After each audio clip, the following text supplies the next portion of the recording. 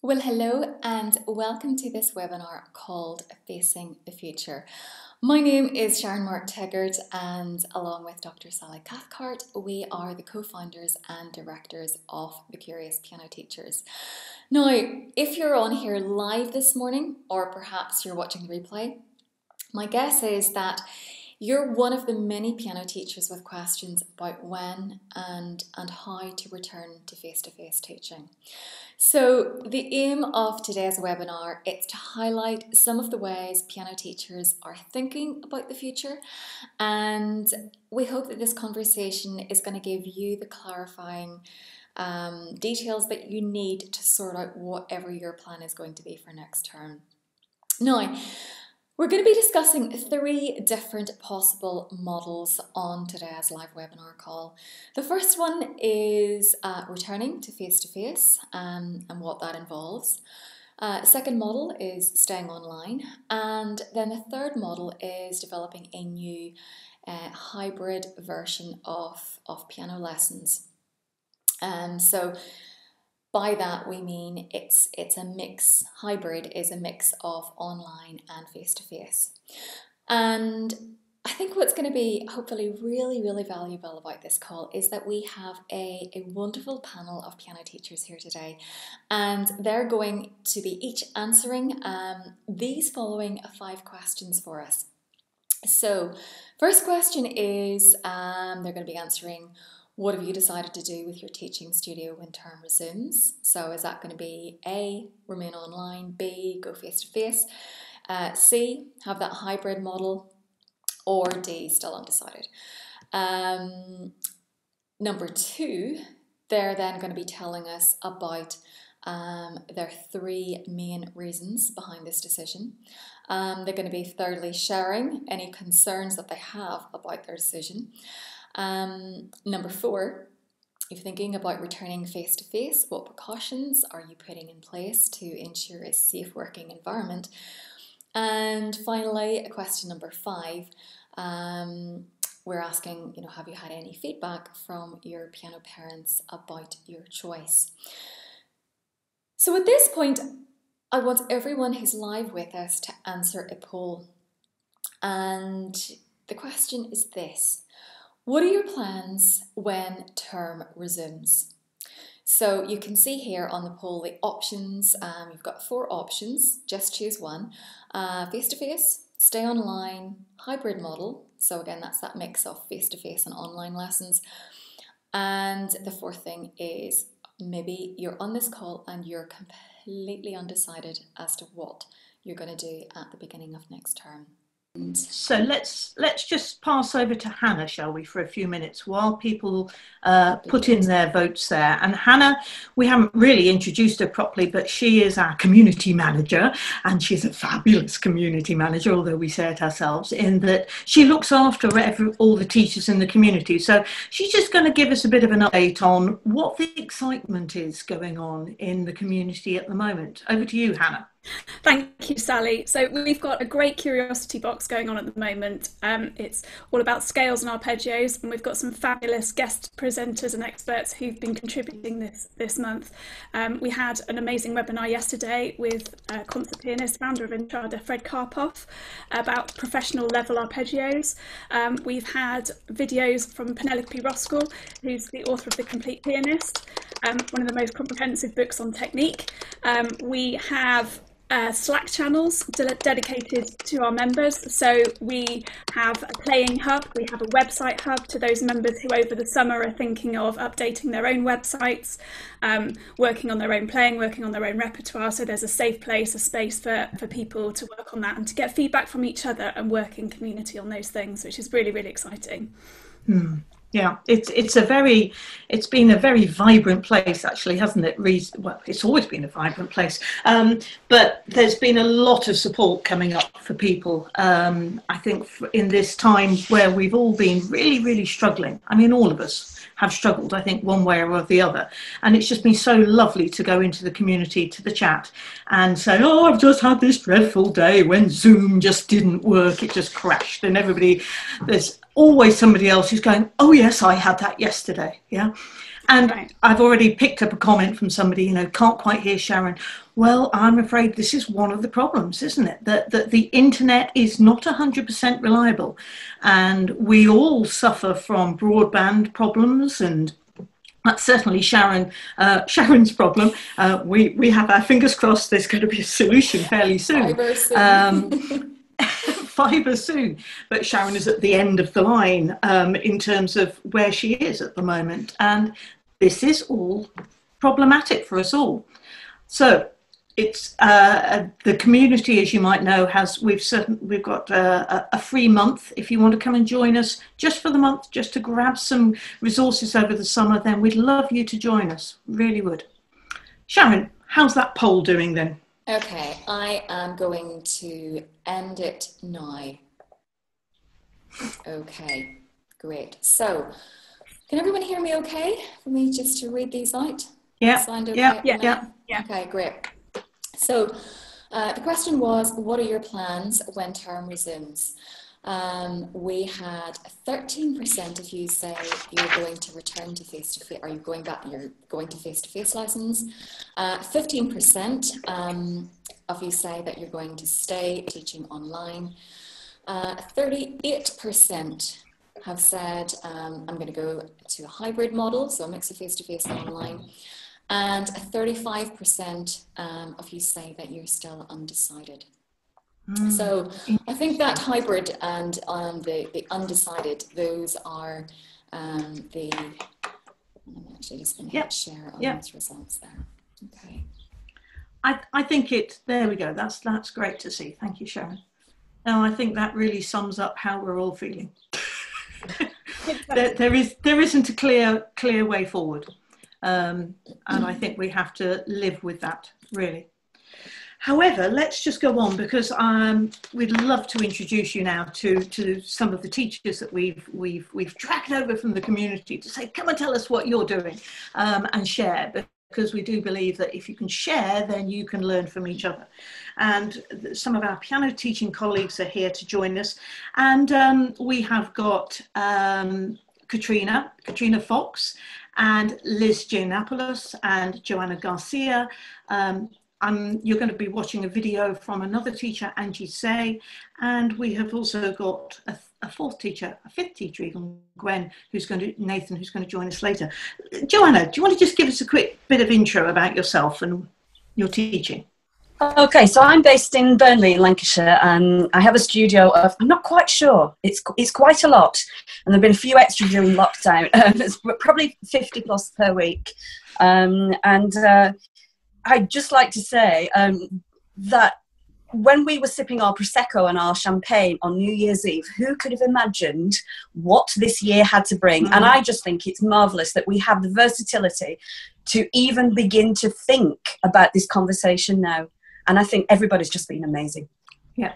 I would absolutely second that, Joanna. Thank you for saying that because I think the way that the piano teaching community has has has worked together to to really make this possible, and I know that to all of you out there, you know, parents are on the whole, I think, very very appreciative of of everything that you have done because you've all turned yourselves round from not knowing one end of Zoom to another to being quite Zoom experts who can talk about lag and latency. Who'd have thought it? So, thank you, Joanna, for for that. Um, Katrina. Hi, I'm Katrina. Um, I'm based in Bournemouth on the North Coast, and I've got a studio of about 35 private pupils, and I also teach about the same number in school as well. Um, so during lockdown, I've taken my whole private studio online. And while I couldn't take my school pupils online, I did work privately for another school. So I took on again around 35 transfer students online, which was quite an experience. Um, but it's been fun. Um, I, I, think there's been a lot of advantages to learning online, and I will certainly keep bits of it. Okay, thank you very much, Katrina. And then over to Liz. Uh, hi, I'm Liz. I'm in Southwest London, um, and I run a team of teachers. So I've got I teach around 25 students myself at home, and then we have another 80 students taught by six teachers through a combination of home visits and visits to schools. Um, and so moving online was quite a mammoth task. I had to take everybody, everybody with me, and all the different things that that meant. Um, but we managed it, and we were able to continue actually with our school teaching um, until they went back to school, and suddenly mm. timetabling became a problem, um, which is something we'll have to look at. Um, but t- my team have been absolutely amazing. I don't know if any of them are on this morning, but they all know that I think they're amazing for what they've done over the last few months. And we all sat together on Zoom with a bottle of champagne each last night and just went, oh, it's the end of town. So uh, that's what we're up to. Thank you so much, Liz. Okay, so each one of them has been asked to answer a series of questions. I think, Sharon, you've got um, some slides with those questions on, haven't you? So um, they, they've been asked uh, what they've decided to do with their teaching studio when the term resumes. We've already had a little bit of a hint at that, but um, you know whether they're going to remain online. Actually, it's the same same questions we've just asked you. Um, remain online, go face to face, have a hybrid model. Here they come, um, or uh, whether they're still undecided. And then we've asked them what their three main reasons are behind this decision, what concerns they have about that decision, um, and then, if they're thinking of returning to face to face, what precautions they're going to be putting in place to ensure a safe working environment, and then whether they've had any feedback from their piano parents about their choice. So, those are the broad questions that we've thrown at them and asked them to uh, answer in a very concise way, because otherwise there won't be any time for questions at the end. So we've asked them all to answer these questions sort of over the next, in, in about a five minute, six minute space. So we're going to um, start with a video now, which I'll just get ready, um, and over to Sharon maybe for a, a, a bit of chat while I get this ready. Because we're going to be asking if you've got any questions to to uh, wait till we've heard all these presentations. Sharon. Yeah, lovely. Thank you, Sally. Okay, so I've just I've literally there been scanning through um, some of the um, the decisions that you've been letting us know about. You know what your your plans are. Um, and also just picking up, I mean, someone, I didn't just pop down the name, but someone was, you know, considering you know the issues surrounding timetabling, um, which obviously with the way some schools will be working, that could be a problem. Um, so please do keep your um, keep your your questions, your comments coming through the chat there because um, whilst everyone else is doing their little bit, um, we will um, Hannah, Sally, and I will be going through questions, and we're going to just try and and get back to as many of you as possible. Okay. Okay. so it's uh, over to Angie now. Now, I'm not sure whether the sound, I think she recorded it and it's quite quiet. My sound is up as loud as it could go, so you might want to turn your sound up, or even better, get some headphones or earpods and put those in because you can always hear sound much better. So here is Angie, and I'll leave her to introduce herself. Hello, everybody. My name is Angie Say, and I'm a private piano teacher based in Reading in Berkshire in England. Thank you very much, Sally, for inviting me to be part of this webinar to discuss um, what will happen when we return to teaching in a new term. Um, for me, I have made the decision to stay online with my pupils at the moment, my pupil profile, I teach uh, 30 children aged between 7 and 16 um, in three locations in my home studio, in a primary school, as well as a secondary school.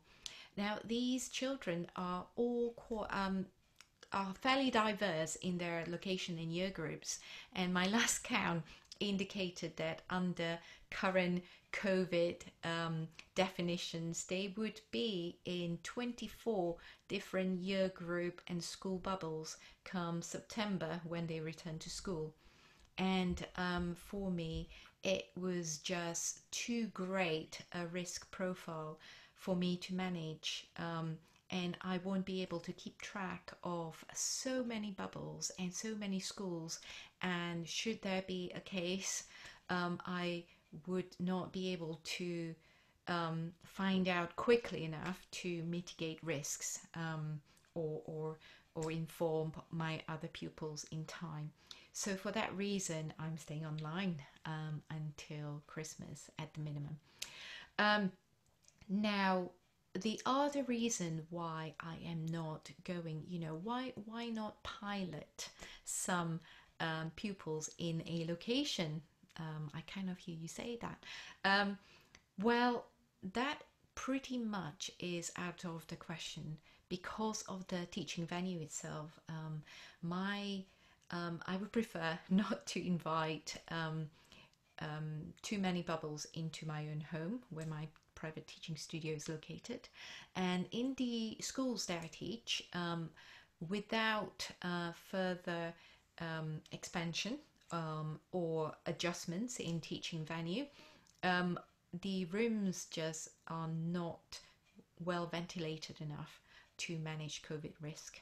Um, and also, they're too small. And uh, even if I bring a second instrument in, I won't be able to um, manage with the distancing rule. Now, um, what also helped me make this decision to stay online quite easy is partly due to the success over the summer term. And um, despite the fatigue and the effort and the technology, it has been a pretty successful term. Um, all the pupils who remain, uh, who has come online, um, and I have had a very successful uptake. I I only have um, a few children who are not able um, to take online lesson and all those who have come online have progressed and learned so much and they have um, improved in their ability to practice at home, so much so that the uptake for holiday lessons has been amazing. Um, uh, everybody wanted holiday lessons, and, and I'm in the, position where I, I'm not wanting to teach as much um, because I'm trying to plan for September. So I know that there will not be any pushback from parents in terms of staying online. Um, now, it's quite also quite interesting to think about the risk and reward. Um, and I was thinking about, you know, if teaching in person is not so restrictive. Um, for example, I, um, I can't sing in school, in, in, in the room. I can't sing in my, my local teaching studio because I, I can't quite ventilate it enough to um, make singing safe. So um, I can't use manipulatives, things that uh, we can share and play games together. Um, and I'm not quite sure about sharing my um, iPad, and I'm not sure about sanitizing my iPads if I were to share it with um, pupils. So, all in all, I felt that teaching in person with all this restriction would impact upon the quality uh, of the experience by the pupil um, itself. So I felt that, you know, the risk and the reward just didn't stack up for me to attempt or pilot any in person teaching this soon. Um, now, are there any concerns? Yes, I do have several concerns. Um, I'm worried about my shortfall in my teaching hours as a result of having to pull my in school teaching pupils into my after school teaching timetable, that means that I will be teaching all five days a week. Um, I still have a shortfall. I still have a 20% teaching hour shortfall, and I'm trying to resolve that by adopting a hybrid model where um, the ratio of the lessons that the children will be getting from me um, for the autumn term will be a ratio of three live lessons to one recorded lesson. So every after every three weeks, there will be a week where they will be receiving um, piano lesson through a series of um, video clips instead. And in doing so, it frees up the time so that I get to touch all 30 of my pupils every week. Um, now, I'm also worried about fatigue setting in. So the children are all going back to school and having spent a very tiring day in school with COVID restriction, I wonder how conducive it will be for them to come home and then have piano lesson online on Zoom with me. So I'm also worried about parents getting technologically fatigued. Um, the amount of support that they've given over this entire term um, has been tremendous. Um, and finally, I am worried about my pupil premium. I teach um, several children, they are funded by school um, because um, of their, their ability, their, their they would not be able to take piano lessons otherwise. Now, I have not been able to teach them online because they lack the infrastructure to get connected to me. Now, if I stay online until Christmas, um, I'm, I'm in discussion now to try and resolve and find a way for them to connect and perhaps have online lesson whilst they're in school and they're connected to the internet. Um,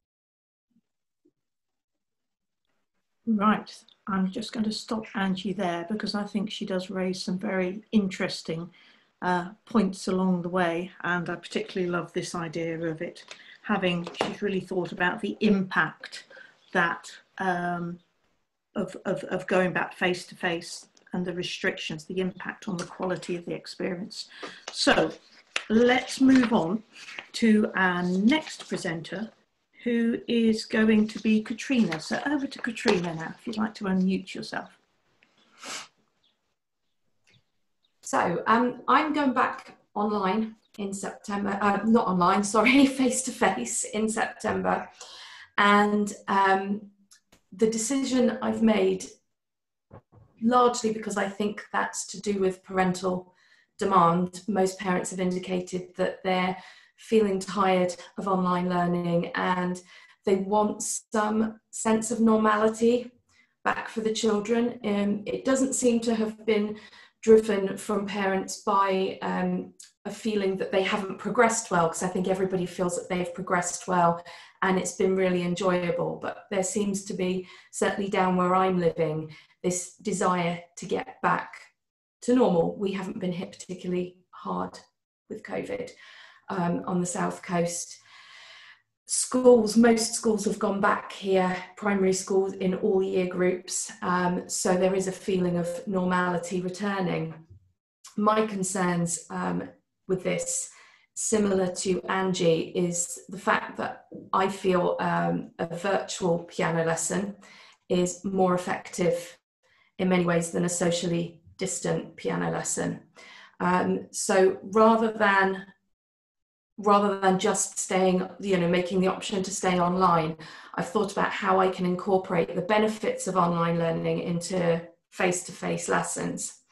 So, um, I, you know, I've had to make a little bit of investment here. I've purchased, first of all, the digital piano, which the pupils will play on. So one of my major concerns was the shared instrument and how do I effectively sanitize a piano where, you know, the sides of the keys are wood, uh, with you know how do you keep it safe and how do you attempt it without destroying your instrument so i felt that a digital piano for the pupils to play on was the easiest thing to do for me i'll also be returning face to face in school and so i've purchased a stage piano which i can carry in there as a second instrument and do exactly the same when i go back face to face in school so i can also place that right by the door by a window and have an air purifier. Uh, I looked into screens. I was planning on having screens across the room. Um, instead, I've managed to move some furniture around and put three meters between myself and the child. So, um, you know, there's a nice bit of distance there. And when it comes to demonstrating, this was, you know, one of my key issues. Really hard when you want to point a note or, or help you know point to something on a page or stand over them and see what they're doing wrong or have them watch your hands. How do you do that? Um, again i i probably will buy a couple of screens just in case um, in case i feel that that's going to be something that's useful to me. But currently my thoughts are that i will actually be zooming within the room within the lesson. So i have bought an ipad that will be permanently there and I will do exactly the same as as I would do in an online lesson. Um, so I can demonstrate. Obviously, the difficulty comes when trying to observe what the pupil is doing. Um, I can turn around and look at them if I need to get any closer.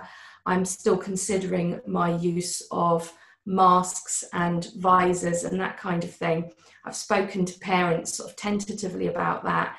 And the feedback I've got is they don't want masks, they don't want visors. It's not happening in schools. And from a parent's perspective, when they are sending their children back into school, where I know I know we're told about bubbles, etc., but I think the experience on the ground has been that, that this isn't really happening in terms of the, there is no social distancing.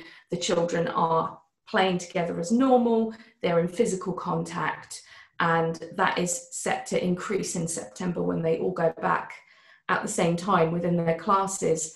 And I think that has what is what has tipped the balance for me is I have two children of my own that are in secondary school and they will be going back as normal. And there comes a point where the risk, as much as I am worried about it, I, I feel that we're losing control. Once my children go back to school and they're in, in close contact with 30 classmates who have siblings at different schools and, and other fam, you know, family members who you you can't uh, know what other people's families do socially. The whole thing is sort of blown rather wide open.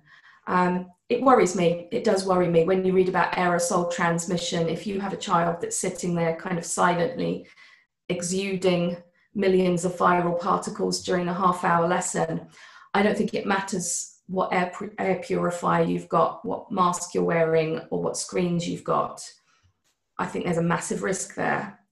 Um, and it's just a, a risk that I have decided I feel I need to take at this stage while taking all of the precautions I can to minimize it. So that's me. Okay, thank you so much, Katrina, for, for explaining it so so honestly. And you've clearly made a huge investment actually in your in your business to make that uh, you know to, to make it all happen for you. Um, i think it's really interesting all the different things that are coming out about you know the venue the restrictions and these different models that we're all beginning to think about developing. And you know the we'll come back to you i'm sure there will be lots of questions for that. But thank you so much that was so clear. And we're going to move on now to joanna. So joanna do you want to just unmute yourself and uh, and take the floor for a moment. Okay, so I'm, I have made the decision um, to go kind of with a, a hybrid model. And I think to some degree it will continue in that fashion. Now, when I say hybrid, I'm kind of mean principally online but I have been, oh, it sounds dangerous to say it, dabbling with a little bit of face to face. Goodness me, it feels like I'm such a naughty girl even saying it, but always with a risk limitation um, in place. So I have 50 students around. Um, some of them, as I say, I've taken on during lockdown as online students. They live in Germany, they live in other places in the UK. So I will continue that. And I'm so grateful that actually this has been an opportunity for the business. So that is wonderful. Um, but in terms of my kind of regular face to face pupils, I've done this through consultation with parents. They understand that online is going to be the main way forward for the time being, but where possible, if they would like the opportunity of an occasional face to face lesson, and when it is possible through timetabling, then I will try to make that happen. I've explained the, the, the, difficulties to parents regarding timetabling and, and the clean down that's necessary in between. Um, and that's why most seem happy to go forward with just the odd lesson, um, which is face to face. And my reasons for that are safety, safety has to be paramount. At the moment, for me, in my circumstances, it's just not possible to put the safety procedures in place for every single one of my pupils to go back face to face. As we go back to um, the, the normal school timetable in September, there is just no way, unless I worked until 9, 10 o'clock at night, that I could space out my pupils enough. Um, so for me, staying mainly online with a little bit of face to face is risk limitation. Um, and as I say, because this is going to continue as a model, and I think, just as Katrina said before, there are real benefits to both. Um, that so many benefits we've learned from online teaching, but equally, I miss hearing the sound in person. I miss seeing clearly what they're doing in terms of technique. So, for me, a little bit of a balance of the odd face to face and some online works for me. My concerns fairness. It's I have consulted with parents, but there are some pupils, particularly in the middle of a, let's say, an evening slot, where I simply just can't timetable it so that there is the, the minutes in between. And I'm concerned that as we go forward, whilst people are very generous at the moment and saying, yes, oh, I understand that other people need to have a, a chance at that, it's to do with fairness um, and will people be happy going forward, just having the odd lesson. Um, another concern is to do with the difficulty. Having having experience switching from face to face to online it's very difficult. Online has almost become a safe space. We know where we are. We know what's going on with zoom well mostly. And and i've found in the little experience i've had it's tiring to switch from face to face cleaning that pressure of time it's tiring for me at the moment it's worth it but we have to think long term of the fatigue as well. Um, in terms of how I do keep um, everything safe, because risk limitation has to be a factor, um, I've done a risk assessment. I've shared that with all my parents, all of my pupils. Um, I've asked them to talk through it with children where they're younger younger pupils. I talk through my expectations when they walk through the door. I have, I'm very fortunate. I have two pianos. I have a digital piano and my piano. I make sure it's well ventilated. We use hand sanitizers. We don't share resources. That's a limitation. But I'm so grateful that the feedback so far has been that, that parents seem to show a real generosity in allowing their people, their, their children to have that opportunity uh, for face to face where possible, but are grateful for the fantastic progress that in general they really have been making. And um, I'm, I'm 100% grateful to all of my pupils for their versatility um, in adapting to what's been a really difficult situation, but one that we've learned a great deal from. Thank you, Joanna. And you know, obviously your your pupils are benefiting from your lovely, enthusiastic and positive approach that you have. I think that that point, two points you made, I thought that really struck me about fairness, being concerned that every child has that opportunity to have a face-to-face lesson. Um, and the fact that yes, online is now this safe space, isn't it? We understand that. We know how to deal with that. And I know just from going out this week and I went and had my hair cut, you know, when you go out into the big wide world again, it's quite it's quite scary. Mm-hmm. yeah. And, and, we were saying before switch, Sally. Uh, sorry, we were saying before Sally, weren't we, that actually um, it, it, it, there isn't kind of an extreme necessarily that we are either face to face or online because it is a continuum. Um, you know, there is always going to be, I think, forever that that whole range of experience and and a range of let's say it as possibilities and opportunities rather than restrictions I, I, I think that's true. Possibilities and opportunities. I'm just going to note that down. Thank you so much, Joanna. And let's hand over to Liz. Liz, the floor is yours. Thanks, Sally. Um, yeah, it's a really interesting challenge for me. Um, I think much of what Katrina and Joanna have said resonates a great deal with me. I'm probably going to go, I say probably because I'm very aware that we have no idea what the world's going to look like in, in six weeks' time. But I will probably be doing my own version of hybrid, which is I plan, I currently teach four days a week at home, and I plan to do Mondays and Wednesdays one week online with Tuesdays and Thursdays face to face, and then switch it. So children will get a lesson face to face once a fortnight and online once a fortnight. Many reasons for this. One of them is, of course, that actually the, the cleaning time required in between is going to extend my day, and I still have young children. I have one young child, the other one's a stroppy teenager. I have one young child who needs me around in the evening. I don't want to be teaching until seven, eight o'clock at night. Um, and the other reason is I wanted just to reduce the amount of traffic coming through my home.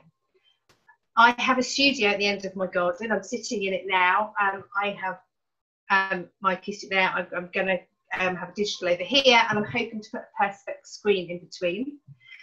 Um, I hope that I do not not have to wear a face mask. Because one of the things I think about is actually in Zoom, on Zoom they can at least see my face. And you can see and I know you know we're always so terribly positive but you know I have well I spoke to one of my teenagers earlier in the week and she went that was rubbish wasn't it? And I went yeah it was a bit. And you know in a very nice friendly way. And you imagine if you do that with a mask on and they cannot see your intention that really worries me. But obviously I'll wear a mask if I have to.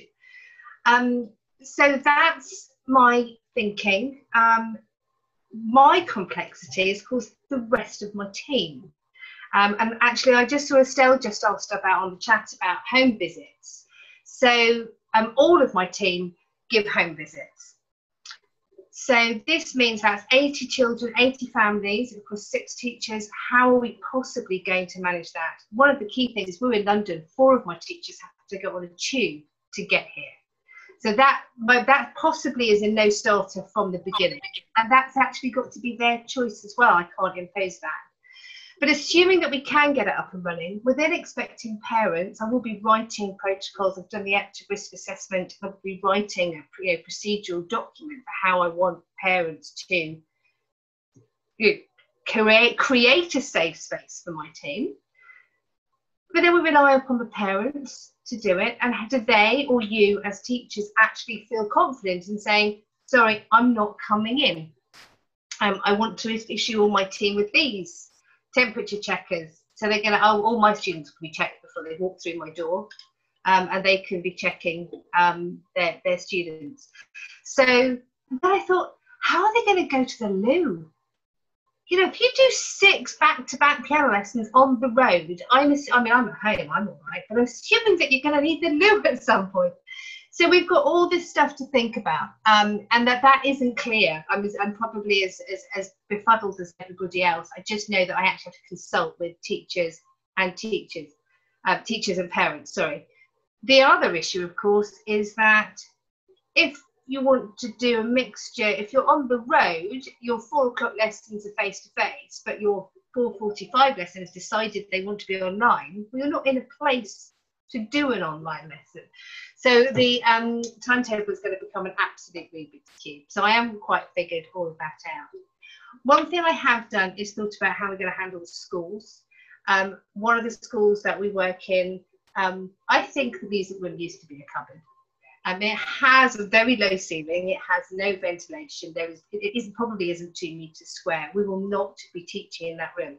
I've reached out to the schools um, and neither have replied to me yet. So I shall be pressing that issue now, turn over. Um, but what, what I have done is where we have had some natural attrition at the end of this academic year, people moving on, what I've done is I've kept space in the timetable, haven't filled, made new offers so that we can potentially move our students that are in school into the after school timetable. It will mean they're changing teachers and it may, may mean that we're only doing that for a term and things could go back in 2021, who knows? Um, but what I think the key for me for September is flexibility. Um, it's just making sure that we're absolutely flexible in how we can respond to teachers, parents, children, families, my family, every, you know, there's, there's a lot to think about. Um, so probably a mixture, but still not decided officially. Right, thank you, thank you, Liz. It's it's such a hard decision, but to make, isn't it? And I think we're still, you know, we're just celebrating the end of term, and we, as, you, as we were, were saying last night, but we've got another six weeks yet before we start term again. And a lot can happen in those six weeks, and we still don't know yet the effect of the the lockup, the unlock, or whatever that we're we're experiencing here in England. Slightly different in Wales and Scotland, but we're too it's too soon yet to see what is happening from that. So all decisions, I think for everybody, have got to be tentative ones at the moment. You know, it, it's got to be best scenario on an upwards. You know, it, it is not um, uh, not not the situation deteriorating. Um, I, I, I, thought when you were talking about this face to face and possibly having to wear a mask, actually it won't be face to face, will it? Do you know what I mean? It won't be face to face, it'll be mask to mask. Yeah. Return to mask to mask teaching. Um, and you're so right about that face and, and needing to use our face, and we can say things with our faces. And I find myself going around shops and things with a mask on, grinning broadly, hoping that they'll see my eyes are smiling. but it feels very, very strange, I have to say, wearing masks and things. But obviously, uh, very uh, important. But I love this idea of, you know, when you're visiting a house, what do you do about going to the loo? Uh, uh absolutely. What do you do? I don't know. No. So, is um, it, yeah, so I just wanted to add, I meant to say about parents, this you know, you're asking about how we consult with parents. There is a huge expectation where I am that we will return to face-to-face teaching. That is, people are sending emails going, "Oh, I assume we're back to normal in September." Do you really assume that? Because that's a really yeah. assumption. But actually, there is this. Um, oh God, I completely forgot what I was going to say. Parents. Where was I? Oh, it's gone. Um, yeah, they're looking to us. They're looking to us for leadership. They're looking yes, I think that, yeah, to have the answers. Like yeah. because they just because wherever the authority lies, they're not getting clear guidance, and we're just another group of people who are in charge of something that yes. they're expecting us to have the answers, and we have to just go. We're doing our best, but we're just normal people like you. We're not trained in this. I I think that's a really interesting point, um, don't you, Sharon? Because I can see you've you've come yeah. off now. Yeah, I, I do think so. I mean, um, I know that I do collaborate a lot with parents um, and you know adult students and things. Um, they have you know many opportunities to give feedback, but um, I know my decision about this. I have made it because I feel it is it is my business, and um, there. I mean the the lack of longitudinal research that you know doesn't exist. Um, I, the fact that you know you know to mask or not to mask you know we just don't know enough um, about this so i mean my personal decision has been to stay online um, but that's because I can and because of my work situation that, you know, I have a small studio. But um, I do think that certainly for me, I didn't actually go out to parents and say, what do you want to do? Because I knew that that was kind of, you know, the floodgates open and you get all sorts of um, of things. So I'm wondering, shall we actually bring Gwen on at this point? Yes. Have you found Gwen? I'm I just have indeed. Yes. Gwen, I'm oh, going okay, to fantastic. Let's bring panelists. Yes. Um, because yes, Gwen has done a survey, um, and again, it's it's quite interesting. Um, her her findings. Gwen, good morning. Hello, hello. Good morning, everyone. Hello. Welcome, Gwen. So yeah, just following up from what you were saying, I two weeks ago sent out a survey to all of my pupils. I'm just going to load it up for you now. One moment. Uh, oh share. Uh, this is about a dozen, um, I think it's 14 replies, so that represents most of my um, most of my uh, private pupils. Hang on, let me just grab that. So this is the copy of the um, the survey I took out, sent out. Um, so this is only my, my private pupils, not the pupils I teach in schools but I wanted to get a feeling of where they were. And as Sharon was just saying, I think their expectations and um, are quite a lot higher than we're able to deliver. So have a look at this. So my first question was, when do you do you want to return? So I put in July, August, September, Q4, which is up to Christmas, or Q1 next year, which would be January. And where are we? Here are the results. Pretty bar charts. So if you have a look here, July is blue, so over 20%, a fifth were expecting to start in July. Uh, nobody said August. Lots of people said September. A few, uh, quite a few people said Q4. Nobody said Q1 next year. A few are, are not currently hmm. having face-to-face lessons. Um, and this lovely person, this is just one person, said whenever you feel comfortable doing it, tellingly, she is also a singing teacher, so she knows all the problems that we're facing at the moment. Um, the next question I asked was, where, how would you like to transition to face-to-face lessons? So I gave them the option of immediately transfer 100%, one week on, one week off, once a month, or once every half term. And you can see there a whopping 50%, mm-hmm. which, if you take out the people who don't want face to face lessons anyway, means more than half of my pupils think it's absolutely fine to go straight back to 100% face to face lessons. A few said start with alternating weeks. A larger few said start with a face to face lesson every four weeks. Uh, so there you are. Everybody's thinking, yeah, we'll just go. Not everybody, but a, a, majority are thinking just to go back to all lessons. Now, this one's a bit hard to read. Let me actually show you the question.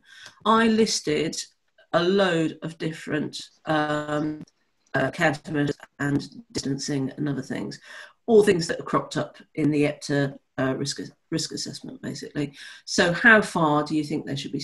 I should be from your child, three, two, or one meter using separate instruments, uh, not touching resources like music, deep clean um, uh, prior to every lesson, uh, ventilation, perspex screen, no singing, washing hands, uh, face masks, disposable gloves. These all, I think, at least. And here's the results, and this is quite dispiriting. 78% thought washing hands was a good idea. So that means that 20 odd percent thought you didn't really need to wash your hands. Um, a handful of people thought that the sort of about half thought that the, toilets needed cleaning and the piano needed cleaning and various other things, touch points. Um, a few people thought you might want to use a separate instrument, 21%. A few people thought, um, what's that? one metre apart. Um, not many, not much uptake for two meters apart, and no uptake for three meters apart. Um, verifying that they were prior to the lesson, uh, 40%, and a few people um, about, oh, these are NA people, and then again, my singing teacher friend and somebody else thought that I should probably wash my hands as well, which I'd forgotten to put on the list.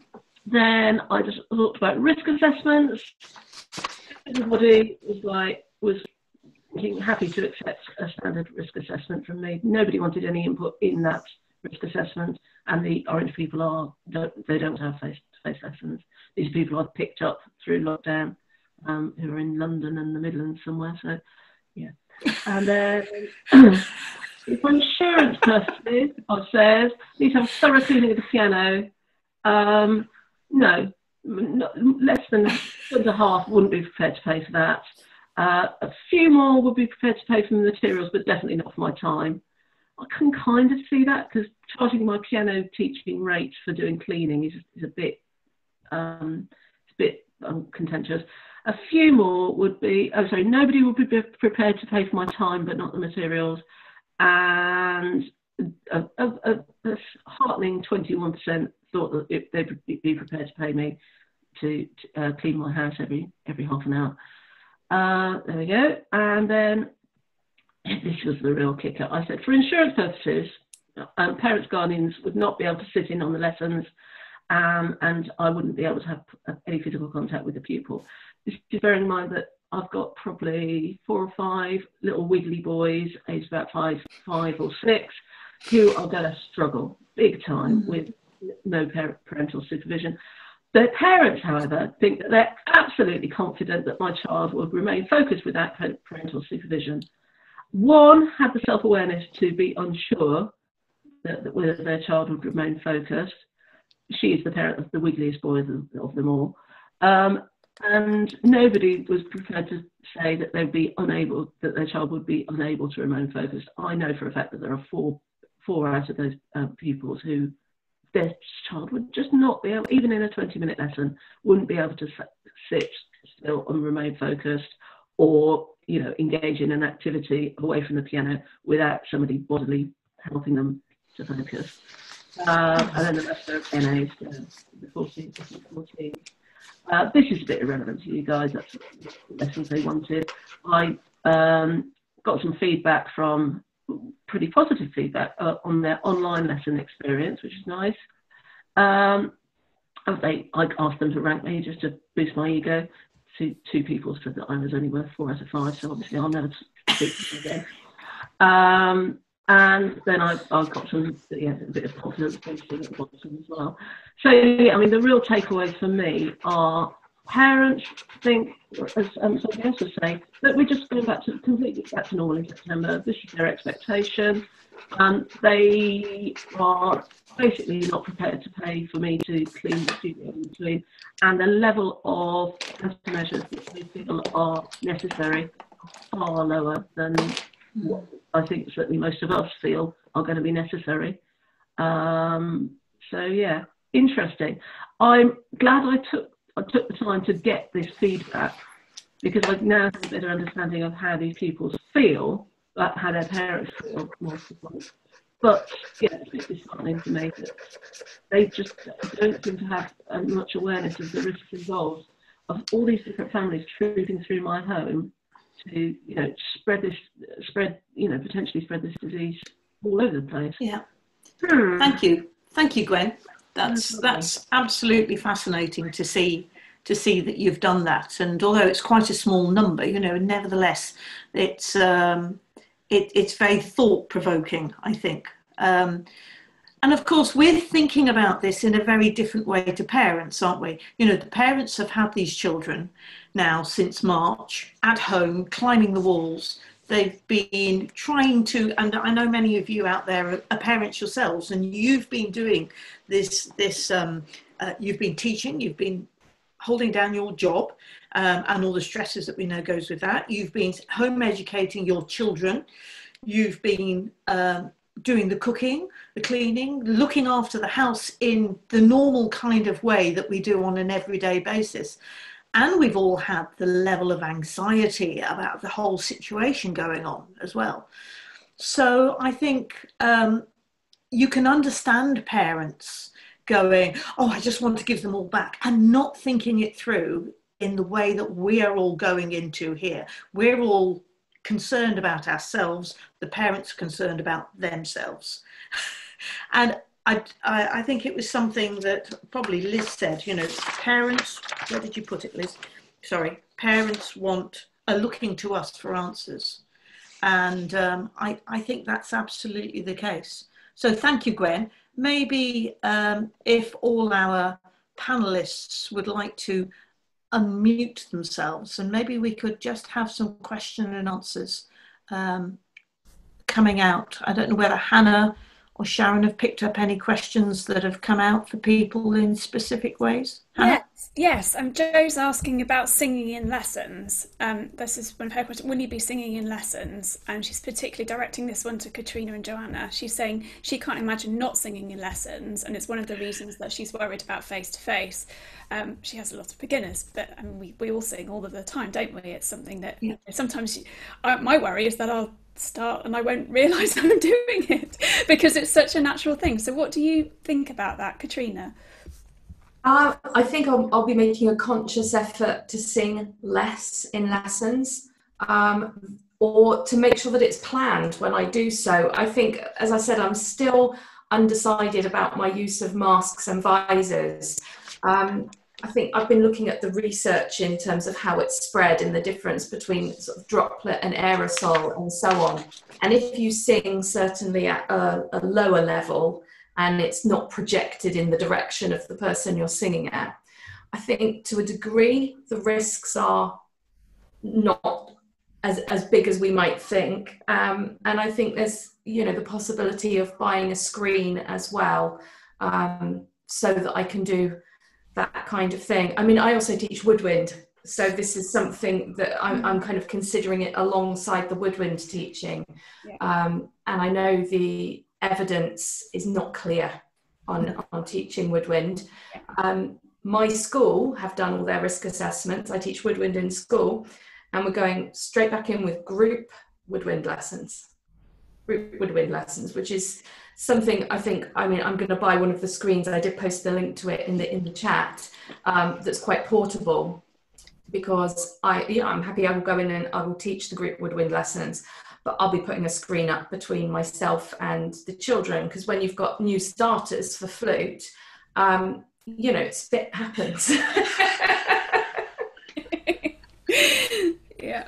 Um, and I think, yeah, I, I think it's all of these li- little details uh, similar to you know transitioning to online that we'll figure out along the way. And i think it's just keeping it up here and keeping alert to it and thinking about well if i need to sing here maybe i hum instead you know. That's surely humming's got to be a little bit different if you really want to, to do something like that. Um, i think i would probably be asking all children to have a mask with them just for the simple reason that you know if you get a little something caught in your throat and and you do need to keep coughing i don't want to have to sort of push them out the door or anything like that i think you know let's everybody have a mask just in case something happens and maybe that would be suitable if you're humming or just low level singing yeah. something i need yeah. to do more research on yeah. yeah joanna have you any thoughts about that too yeah, I mean, um, again, it's about risk limitation, isn't it? And since the majority of my lessons for the time being will remain online, then I can plan in plan in any singing activities on the in the online lessons. Now, the difficulty, of course, is during face to face because it's very easy to be caught up in the more in the moment. And whilst I'm not expecting to launch into Act One of La Traviata anytime soon, um, sometimes you do want to kind of just sing naturally as a as a response. So I think the answer is planning it into online lessons and uh, just trying to keep myself facing in a different direction and trying to keep a lid on myself.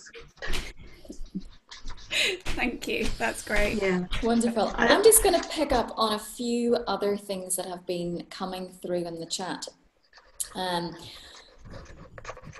I know that Anastasia has said, um, you know, this need to be, um, you know, what happens if, you know, in a couple of months' time this all comes back, we all come go back into lockdown again. Um, and she's obviously going to be preparing her piano parents to say that, you know, if the need arises, we'll be going back to online. Um, she's obviously going to face-to-face lessons, but um, you know, in, in the case that we need to move back, uh, I know regarding the uh, the face masks, Philippa has said about you know the visors. Um, Lindsay has, and I think she's possibly tried this, the, the wearing um, of disposable gloves when demonstrating, you know, the kind of the really tight ones. So obviously, um, I know that the sort that you mean, you know, literally they, they hug your fingers. I haven't tried it, Lindsay, but you've obviously, yeah. you've tried this and um, it's, it's a possible solution. Uh, we had a question to, uh, from Magdalise and she says, how, how would you make an online reward system uh, my reward system face to face has come to a grinding halt, and I would still want to motivate the students for getting rewards for their efforts. Um, I mean, I'll answer it, and then I don't know if anyone else has any ideas. Um, something I have been um, using, as I know others um, on here have, is something called Cadenza, which is an online notebook, and it enables students to um, to send videos between lessons. Now, this has been, I think, probably one of the most transformational things. Um, it hasn't worked for every student, but for students, it, it has worked for, it's been amazing, you know. So we have the, the online lesson. They will then, during the week, they will send me videos and what's great is you get to see with clarity and hear with clarity what they're doing, and the fact that they will actually practice to um, to, to get that done and then I give them feedback. So it's actually rather than I'm not so sure if it's kind of stickers you're actually referring to or something which is maybe a more extrinsic way, but I find this is a great way to intrinsically motivate students. Okay, the fact that they're actually progressing in something. Um, any other thoughts or any other points that we want to um, to pick up on? Um, I'm just just like to say something actually that just that um, a lot of these discussions will be continuing in much more detail inside our community. I can see that this webinar has raised a lot of interesting questions, and we are going to be discussing this and chatting about all of these things over in our member exclusive Facebook group.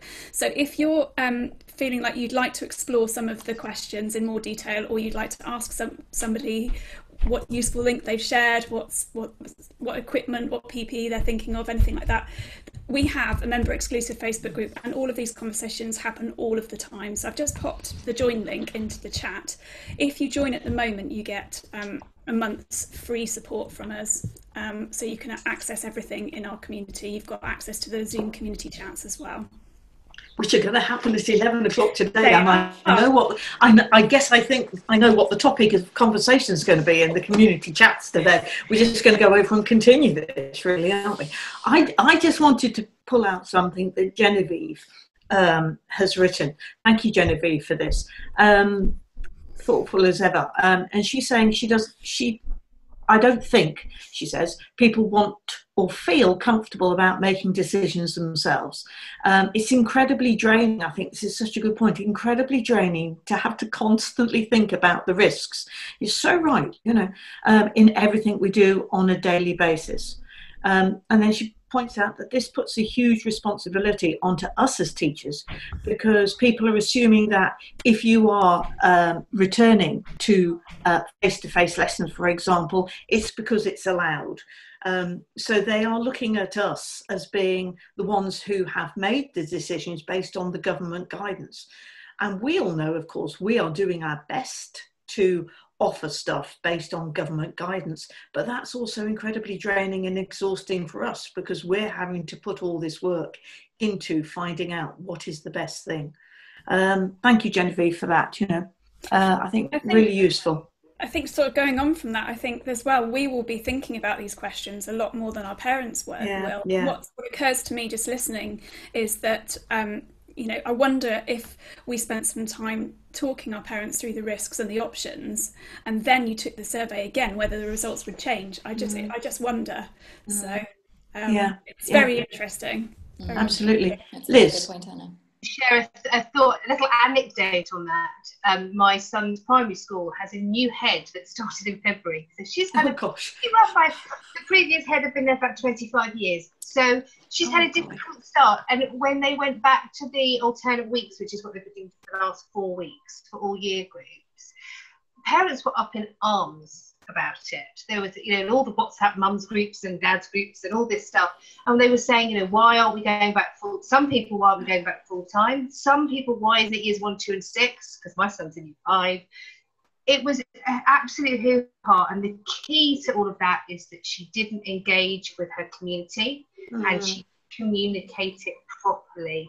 It was absolutely right and just I think that she made the decisions in, yeah. in working with her team, her team and the governors it wasn't up to the parents to make the decisions. It was the way she communicated it to us as parents is what got people's backs up. And I think that's possibly a key that we have to remember that we have to take parents on the journey. They are looking to us. Yeah.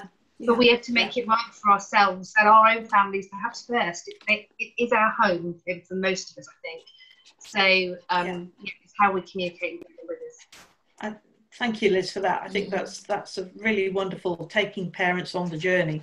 Um, I mean, for those of you that might or might not have read, I, I wrote a, a thank you letter to my piano parents. I'm staying online because I live in a house that has, well, it doesn't really have any proper ventilation except a French door, which, there we go. Um, it's just not it's just not feasible from from a venue perspective and um, you know each each week in lessons i'm talking with the parents i'm discussing how things are going. We have we always spend about five minutes if possible talking at the end about everything really how it's going.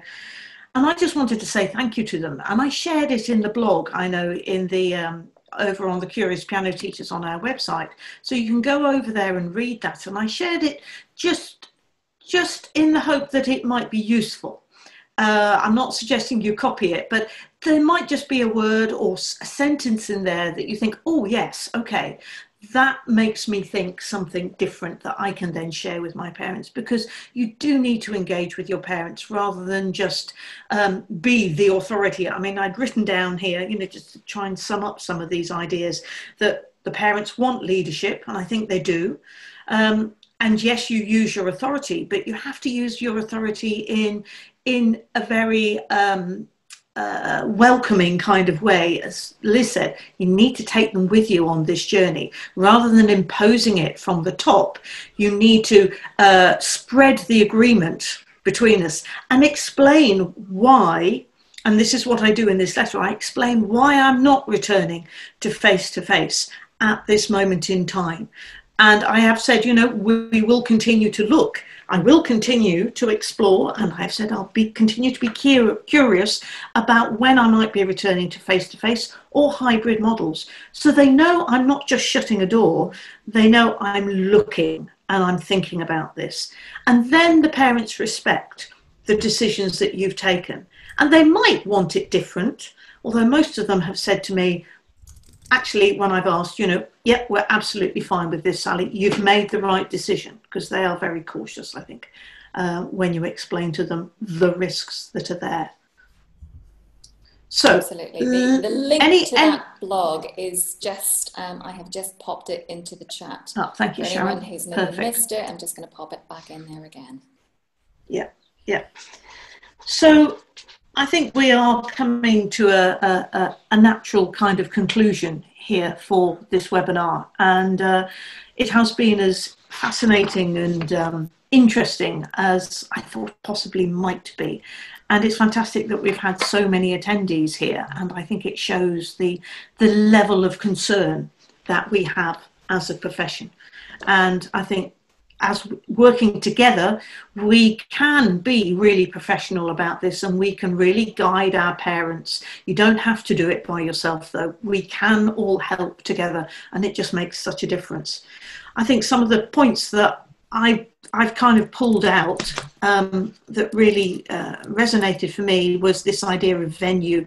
You know, think about the venue or venues that you are teaching in and make a decision based on things like the ventilation, things like the size.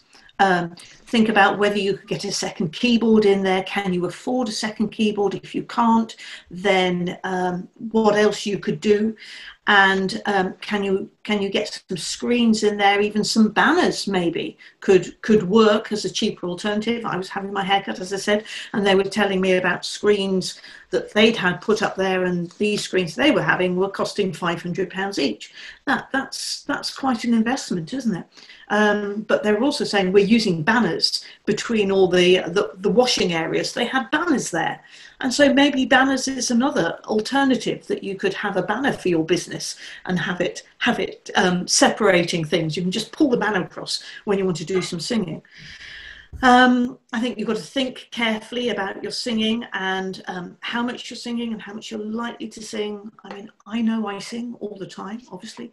Um, and also, I would find it hard to sing quietly. I, I tend to be an enthusiastic person and I project automatically when I'm teaching. You know, I go into my, oh, Sally is the teacher mode and I start bouncing around. Um, and that's another reason for me deciding to stay online because I know I just couldn't control myself. Basically, I think that's what it is. Um, but if you're going to do that, then you you need to. I love that idea that Joanna had, and I think um, Katrina was talking about it as well. That you plan the singing into the activity and you make the necessary adjustments that are needed within your teaching studio. Um, I think that's really really important. I think the other thing that I wanted to pull out was yes, this use of things like cadenza, and people have also been talking about WeTransfer. So if you're staying online, the quality of sound isn't always the best. We know that. Um, as much for maybe you've got your sound sorted out, but the but the child is sometimes still on just the iPad sound, um, which isn't always bad. But you know, pianos are very particular things, and um, maybe get the child to record um, or the, the student to record. I've been and and then send it to you. I've been doing this with one adult in particular and actually we've used cadenza and he's recorded. And all i've done is put recording one recording two recording three recording four each week. And he's uploaded his recordings and then told me what it is. And i just go in and listen to it shortly before the lesson. And then we're able to have a lesson based on those ideas. So cadenza recordings WeTransfer really uh, can make a big difference i think like that. Um, i think the other thing i just wanted to finish with really is coming back to this idea of leadership um, think about it, but then be decisive in your choice. and come up with the reasons. Make sure you've got the reasons and you explain the reasons fully to your parents, or as fully as you can, for the decision that you have made. And stay stay open, stay curious, because we're not going to be doing this forever. We will move on. Hopefully, during the 2021 academic year, we will be able to resume a, more of the face to face Although I think, as we'd all agree, I don't know whether all the panelists want to come off mute as I finish shouting. You know, I, I think lessons will have changed forever. I totally agree, and, I think again it's been about the opportunities. Whilst when this happened at first, we all saw the fear. It's a natural response to feel fearful, but actually, what have we learned from it? We've learned so much in terms of technology. We you, yeah. use score annotation. I've learned about the use of colour, for goodness sake, uh, in drawing people's attention to things. So um, yeah, it's been a learning curve, and and there's part of me that's been glad of it. I, I absolutely agree, Joanna. Anybody else want to come in with anything there? I would agree. I think my teaching has changed. I think mm. I've discovered things that I wasn't actually doing very well. And I didn't realise I wasn't doing them very well until I couldn't do them anymore and I had to find another way. It works better. So I think it's been a really good opportunity to look, and maybe it's looking at our teaching through a different filter. So, yes. um, you know, I'm not saying I was a terrible, awful teacher. I'm just saying I found different and better ways of, of doing some things. So I think my teaching will always be different now. I agree. and also in terms of pupil independence as well, because haven't, haven't, we had to learn? We, we couldn't count at the same time as them. We couldn't sing at the same time as them. They've had to learn that independence, and we've had to adapt as teachers to support them with that. That's got to be a good thing the echo oral tests are going to be a breeze for the. oh, lovely. Oh, Katrina, is... any thoughts? Yeah. I've got very used to transposing down a semitone. Me too the skill set that we learned from from this pandemic. Yeah. yeah. Don't, don't, hit the transpose button on your digital piano when you're using classroom micro because that really doesn't work. Lovely. And Gwen, any thoughts from you? Um, yeah, I think it, that's independence of teachers, sorry, pupils really taking responsibility for their own learning now because we're not there to show them what the right note is. They've got to do more deep thinking, and I think it's been certainly with the sort of around grade one, grade two level where mm-hmm. they are with that kind of that area. It's brought them forward leaps and bounds. I've been really impressed. Yeah, yeah, yeah, yeah fantastic. Fantastic. And again, I wrote a blog about this. Uh, the change, it has acted as a catalyst. Mm. You know, piano teaching has been stuck in a Victorian model, basically, until February. and now you've all had to embrace the change. It has acted. And when I wrote my PhD thesis that looked at all this, you know, um, which I did finished five years ago, um, I was talking about a catalyst for change so that we move away from this Victorian model. There's no way I could have guessed it was going to be a pandemic, but sure has it really moved us on from that Victorian model because until until then the victorian piano teacher could have come in and recognized a piano lesson as being basically the same thing as they were doing. And I think they wouldn't now. Yeah. So I think it's fantastic, actually, uh, what everybody has achieved, and we will continue to achieve great things, I think, together. Sharon? Absolutely. Yeah, I just really want to finish by saying um, and reiterating really what we're kind of all talking about here, and that is that we are stronger together. Um, and hopefully, everyone is going away from this webinar feeling um, maybe you, I'm, I'm, guessing you probably don't have all the answers. That wasn't the, the intention, but that you are even just seeing the importance of us being together, being a community, because there is just, it, it, it helps us take our, our baby steps forward. Um, I just want to say, because I know uh, just looking at the names of participants, I can see that we have quite a few people who I don't recognize as being members. So I'm just putting there into um, into the chat the um, the link. Obviously, you can join entirely free um, for a month. We have, I mean, our past two curiosity boxes about being resilient.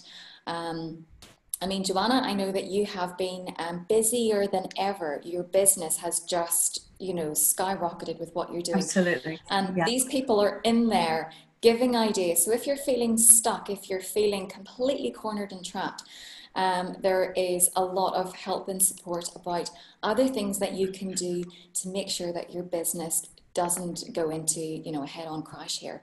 Um, and also we had then another um, box which was all about online lessons and the sorts of things that we can do. So there is just, I mean, that's only scratching the surface. Obviously, there's all these wonderful members and a lot of other um, videos and boxes. So, uh, thank you so much um, for being here. I also want to give a massive, massive shout out, shout out to uh, to Liz, to Joanna, to Katrina, to Gwen, um, and of course to Hannah and Sally. It And is-. And Angie, of course.